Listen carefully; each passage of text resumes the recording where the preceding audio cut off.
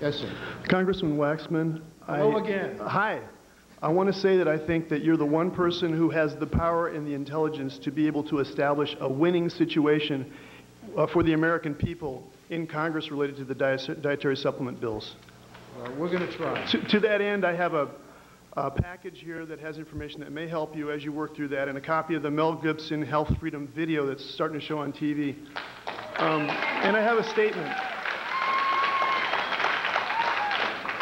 Pure science doesn't yet fully understand the benefits of dietary supplements like herbs, for instance. It may take years before there is significant scientific consensus on what these benefits really are.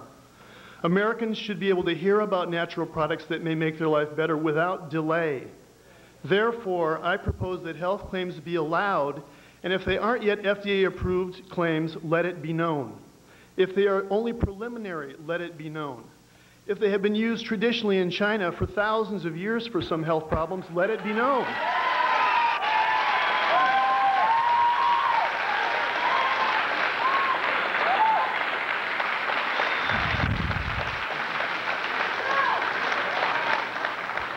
Let information be freely accessed with no government or FDA censorship.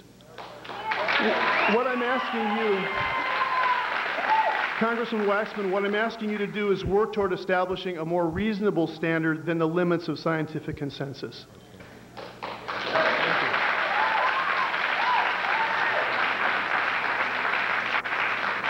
I appreciate what you have to say, and I'll look over this information and uh, give it every consideration because I think we do have an opportunity for a win-win situation in uh, making sure we clarify what seems to be a murky area of the law.